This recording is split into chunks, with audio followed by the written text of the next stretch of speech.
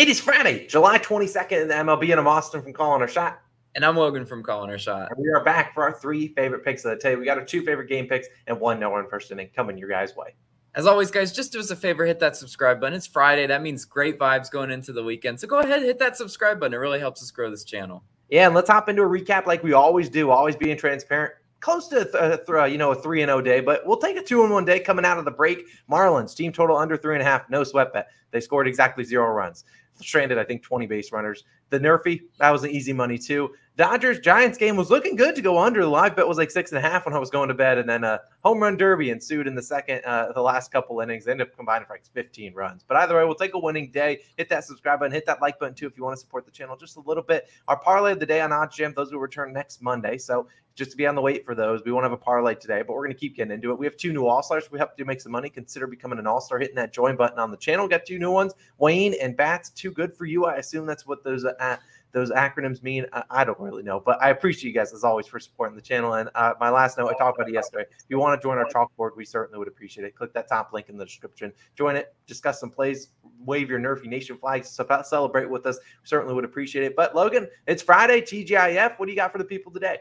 Yeah, you know, yesterday, yeah, I, I once again swore off totals after uh, what happened in that game. Yeah, sorry, I, I, can't predict the home run derbies, but I'm going away from totals today, and we're going to a first five pick. I believe we both have first five picks, so we'll start with mine, and mine is in my backyard. If you guys know, I live in Philadelphia. We're going to the Cubs versus Phillies game. I'm taking the Cubs plus a half, first five run line. Currently, minus 122 odds is the best odds on FanDuel, as Austin's pulling up right here. It's kind of it's interesting how DraftKings has that juice to like minus 135. Like, what what the heck do they know? Like, are the Cubs a mortal lock for this first five uh, run line? Sure, hope so. You know, I'm doing I'm of course doing some line reading on this one, right? And who are the Cubs facing today? They're facing Gibson.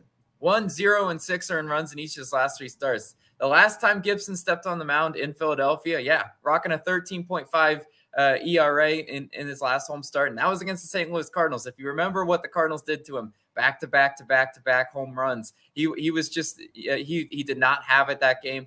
It's really interesting to me how Gibson's you know road splits have actually been probably better than his home splits, but the last time, and I know this is a reach, guys. Last time Gibson did face the Cubs, it was back in September of 2021. He went five innings pitched, four earned runs, and the Cubs did win that first five, four to one. So maybe the books are just dialing back to way back then when Gibson was traded. He was he uh, was traded to the Philadelphia Phillies, and he he was starting you know in Philadelphia, and he he had a bad start versus the Cubs. And the, and if you also remember at this time last year uh, or, or September 2021, this was post fire sale of the Cubs, right? The Cubs sold off a lot, of, well traded away a lot of their best players, so they were a really putrid team, and for them to to have decent splits versus Gibson, like to see that, right?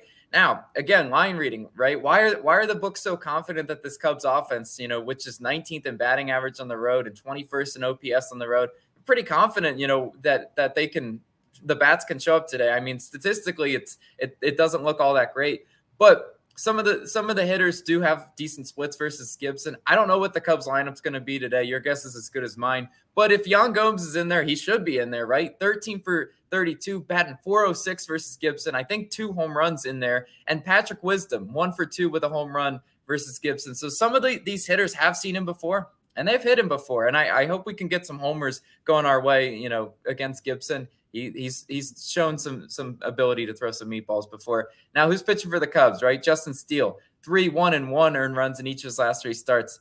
I mean, look on paper, 5.86 road ERA and a 1.52 whip. Those are bad numbers. But again, guys, line reading. Why why the heck are, is the Cubs first five juiced like that, right? I guess they're they're expecting a, a good Steele showing, right? Now, Philadelphia, ninth in batting average and OPS versus lefties. Steele is a left-handed pitcher. Could they come out a little bit rusty after the All Star break? Sure. They. I'd argue that they some of these hitters weren't all that great going into the All Star break, right? Look at the, with when Bryce Harper went down. It these these hitters, you know, the Hoskins, the Schwarber, the Bohm, they're they're leaned on a lot heavier. And Hoskins only batting 208 during July. Schwarber only 167 during July. And Alec Bohm 382 versus or during July. I'm to let you know right now. Alec Bohm's do some hard regression in the second half of July and into August because Alec Bohm, sorry, you're just not a 400 hitter, right? Okay, so if if Steele can sort of navigate his way through those young hitters and right the Philadelphia Phillies, if you watch their their team, you know there's a lot of you know hitters in there that that swing and and just swing at bad pitches all the time, right? Philadelphia 24th in strikeouts at home. Steele's K line is, is something interesting that I was looking at, and I'm like, I don't dabble in K props, but that that four and a half with the juice being, you know, the the juice on the over. I, I think he hits that today. I think he he's able to to deal versus the Phillies today. I think he's able to keep their runs down, and I think the Cubs are able to score on Gibson. So I am going to be rocking with the Cubs first five you know, it's it's an icky feeling bet, right? I you know, you feel icky bet betting the Cubs, but sometimes those are the bets that cash, and that's why I'm rolling with it. But Austin, what do you got for your pick today? Yeah, so you kind of spoiled it. We're at on first five against it. I would lean towards the Marlins team total under just because, you know, you got to write it out. They haven't scored in 34 straight innings, but I can't do that to them. Also, we don't have a line for them. Today, we're going to the White Sox versus Guardians game, and I will be taking the Chicago White Sox minus 0.5 in the first five. Now, we're seeing that minus 106 on FanDuel, virtual pick them on almost all the books. So fine with me. You can bet it on anyone. We're just taking that first five or the first half as some other books like the, like the noted. Now, both the Guardians and the White Sox went into the break pretty solid, both winning five of their last seven games. They did match up against each other. Uh, I believe the White Sox won two of those final three matchups, but still, both teams kind of going into the break hot. I mean, they're both went around the same record. I believe the Guardians are 46 and 44, and the White Sox are dead even, 46 and 46. Now, the White Sox today will be starting Lucas Giolito, and I won't lie to you, Giolito's not necessarily my favorite pitcher they could start. I'd much rather Dylan Cease, but they're expected to start Giolito, and you know we had a rough June, a terrible June, over a 70 ERA, but in July, quietly dialed that in in. In July, 2.84 ERA, 0.947 whip. Look, if he can just keep doing that, I'll be totally happy with whatever he does. I do know Giolito. He's a guy that sometimes can go like four innings.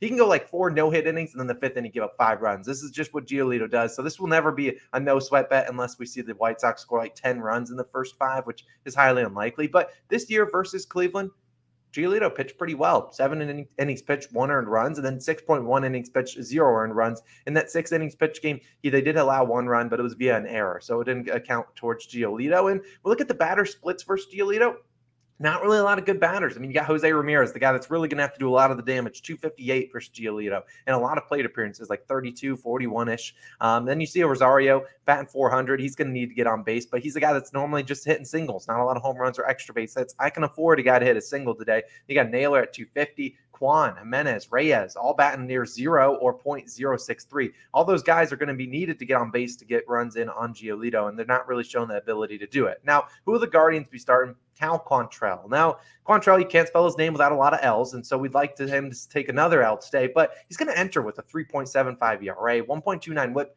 on paper, you would say Quantrill's got the better numbers than Giolito, but you look at his expected ERA, 4.52, and he's pitched against the Chicago White Sox twice this year, allowing four earned runs in both of those, going about six innings pitched. Now, the White Sox did not get to him until later in those starts, like around the sixth inning. We're going to need them to get to him earlier today, which I think they can. And Quantrill really struggled on the road. Today's game was in Chicago look a one in five record. You look at his record at home, he's five and zero. Oh. On the road, one in five, 4.66 ERA and a 1.58 whip. I imagine that expected ERA on the road will be more near the five, five and a half range. You look at the batters that the White Sox will be likely starting today. You got Tim Anderson, 357. You got Moncada. Look, if they can get some production out of Moncada, I'm, I'm all in. But he's in 313. Luis Robert, 364. Pollock, 333. Abreu, 250. Even Adam Engel at the bottom of the lineup batting 400. I don't know who was starting for the White Sox today. It's the first game out of the break. You never really know who's going to be playing. I imagine Tim Anderson's out there. Luis Robert did miss the last couple games going into the break with a head a head injury. I think he should be back today. Hopefully he is because we would like to see him at the top of that order. But either way, I think the White Sox have a really good chance of getting it done here today. Look, I think they're the far better team, despite the records being about equivalent. They have the more talented bats. and I think they have the more talented pitcher on the mound today. So riding with you, Guard, uh, White Sox minus 0.5 in the first five innings. But Logan, you know what time it is. Grab out those flags. Nerfy Nation started off with a great day, and we're going to keep going. Nerfy Nation time, baby. Wave those flags. If you're not if you don't have a flag, become a COS All Star. We're going to keep getting into it. Hopefully, we can extend our streak to two straight Nerfy wins to start the second half of the year.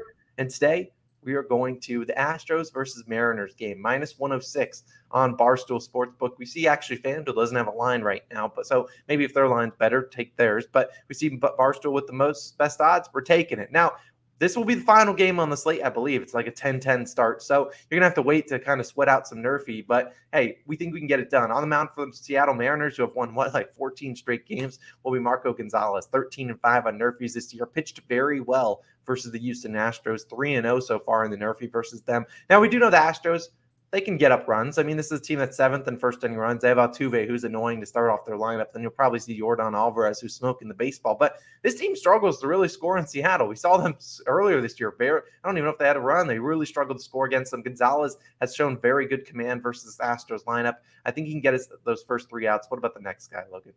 Yeah, it, it's Jose Urquidy, right? Urquidy, 12 and 5 on Nerfies this year. Now, versus Seattle, he is one one and two.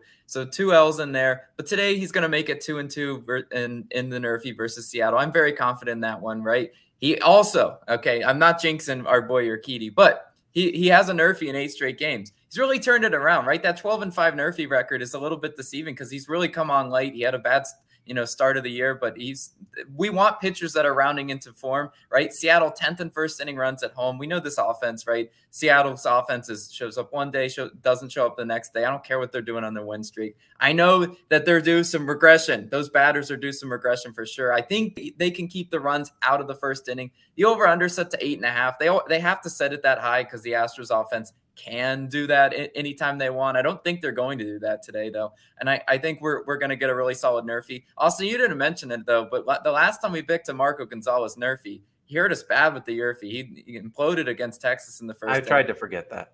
Yeah, you know it's it, it's it's okay. He's he's given us some coins back today. Nerfy Nation, we're gonna fly these flags. How cool does this flag look, though? Become a COS All Star, and you get the digital version of it. I just have to mention that. There's nothing better. I might have to paint mine a little with some white Nerfy Nation flags, yeah. uh, letters one of these days. But that's our Nerfy Nation pick. There are a couple others we did consider. I personally didn't hate Rockies Brewers, but look, I don't pick Nerfies in the Brewers Park. I refuse to do it. One little fly ball, and that's that's a ender. And Senzatela is going to throw some turkeys to be hit, so I'm not going to take that one. We'll take this one, and then we got our first five picks. We appreciate you guys. Let's hopefully bring out the brooms. But have a great Friday evening. We'll see you guys same spot, same place tomorrow, Saturday morning. We'll see you guys then. Austin Logan, we're signing out.